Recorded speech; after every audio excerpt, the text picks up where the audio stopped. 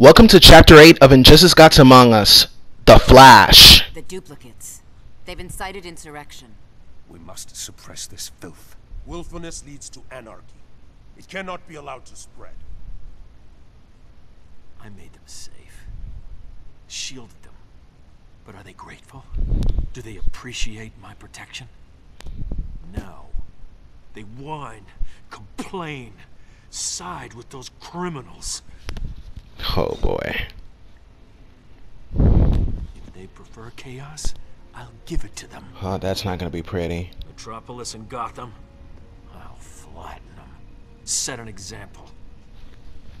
Then, I'm finding the dimension these duplicates came from. They'll pay for interfering. Things are gonna get ugly. Wait, we're wiping out whole cities? Invading worlds and other dimensions? You have a problem, Billy. Well, yeah. It's crazy.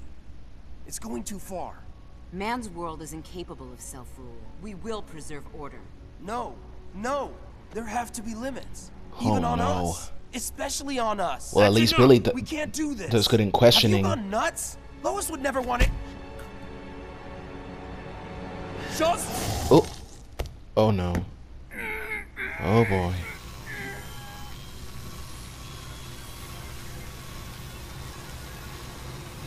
No. That's not cool. He was just a kid, man.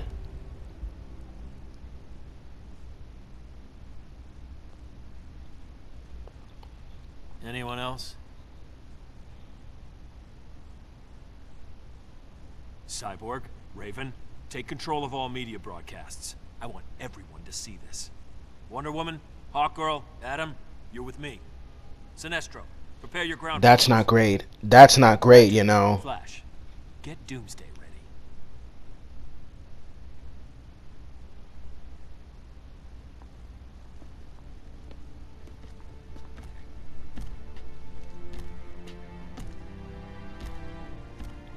Oh man.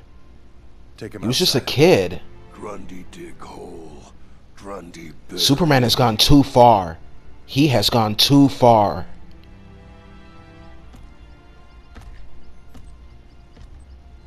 At least the Flash is not uh, waking up to all of this. This isn't what we signed up for. We did our job. We eliminated crime. Billy wasn't a criminal. He was a casualty of war. Acceptable losses. Acceptable?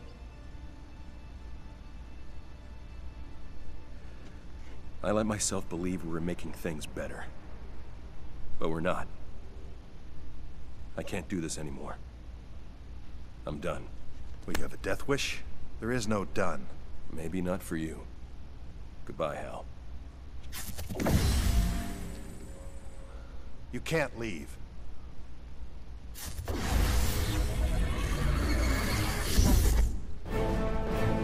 Jesus Barry, Christ. don't make me do this. He can face with, with yellow energy.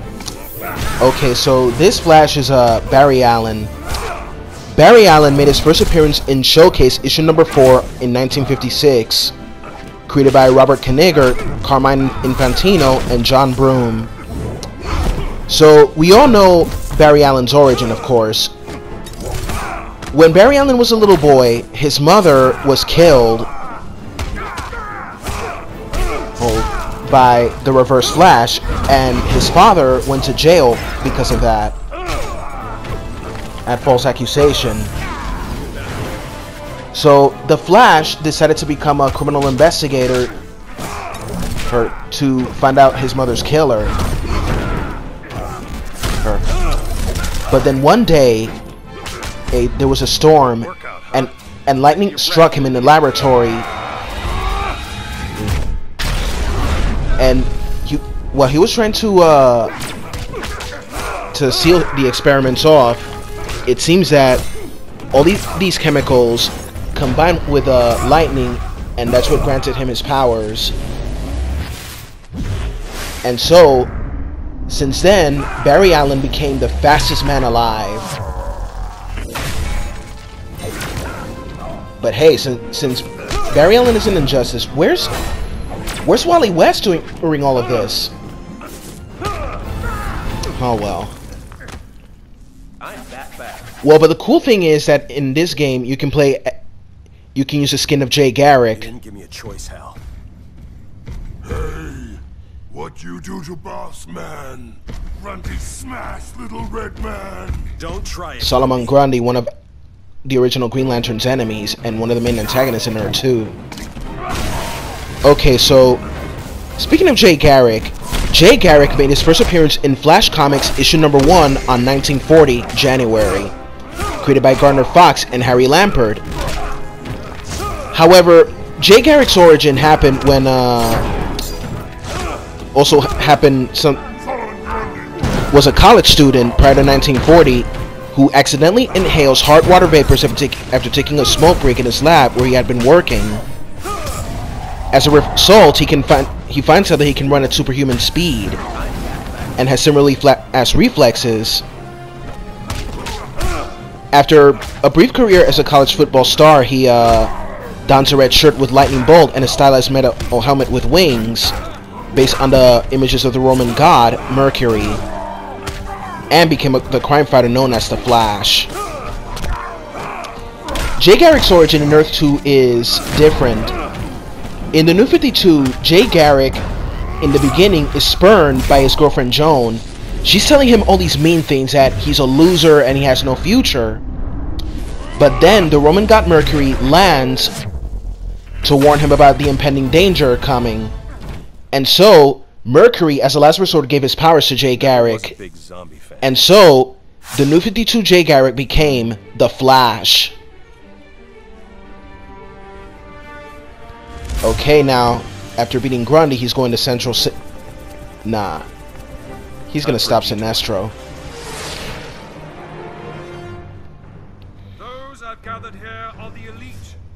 Best and bravest soldiers this planet offers. Yours is a heroic mission. It requires that you transcend your humanity, embody the highest One Earth principles.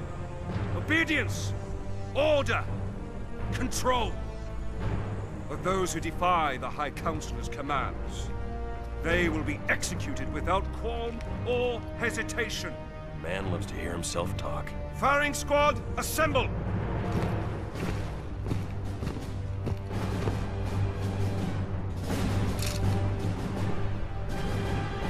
I don't think so. Now that's now that's some some sort of a gun control Now in a way. Sinestro. Enough talk. Yes, quite enough.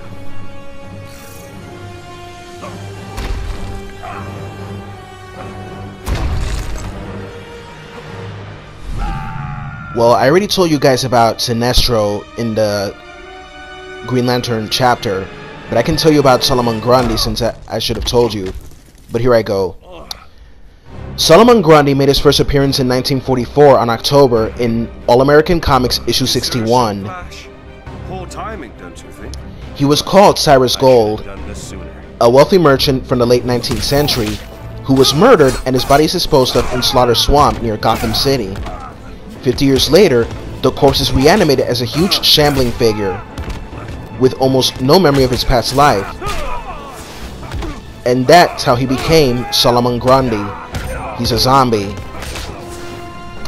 And an enemy of the Green Lantern, Alan Scott. However, in New 52, Solomon Grundy is rebooted as well. A villain for Alan Scott. He first appears in Earth 2 issue number 3, personifying the Grey, life-destroying forces and opposes the Green, green forces that chose Alan Scott as their champion. He attacks Washington D.C. to get Alan's attention. The Flash, Hawkgirl, and Green Lantern fight him, but Atom brings him down temporarily by jumping onto him at giant size. The battle continues until Scott once again exiles Grundy to the moon, where neither he nor the Grey can do any more damage. And he was a slaughterhouse worker before he was Grundy.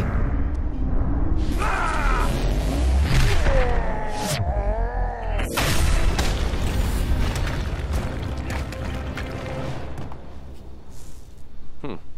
Can't leave you just lying there.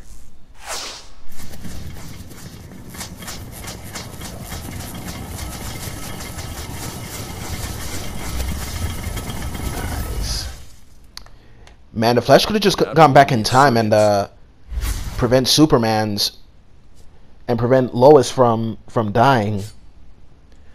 But time travel can mess everything up, since we learned from Flashpoint. What do you think, pretty bird? Perfect as always? Huh, Black Canary. My God, Ollie, is Well, this? Black Canary in, In in that game ain't no Katie Cassidy or Where's Caity Batman? Lotz. Beautiful girls, He's of off course. somewhere not being a murderer. Come on, Ollie. You know you can't hit me. Wasn't trying to.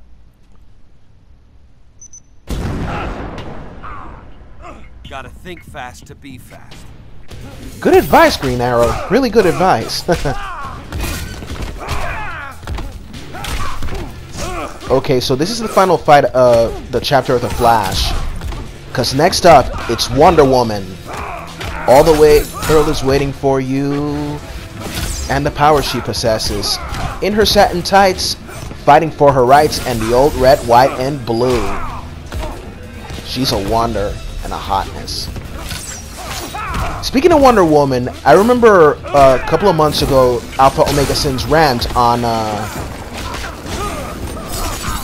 on something that happened in the school that a little girl was sent home from school because she had a Wonder Woman lunchbox. Because she had a Wonder Woman lunchbox? You said she misses a day of education because she has a Wonder Woman lunchbox? Are you fracking kidding me? Dude. Social justice warriors mess everything up. That's for sure. Wonder Woman is a symbol of female empowerment. Just like all the other female DC superheroes. Black Canary, Starfire, Raven.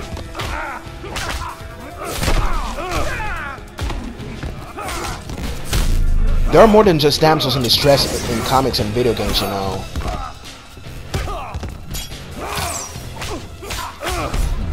I can hit a moving target. This one hits back. Well, at least this Green Arrow and the Flash are no Stephen Amell and Grant Gustin right there.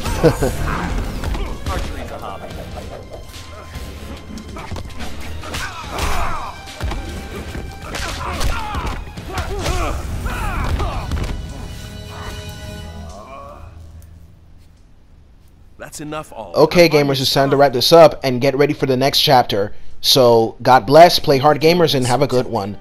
Later! I'm telling you, Gotham and Metropolis will be history.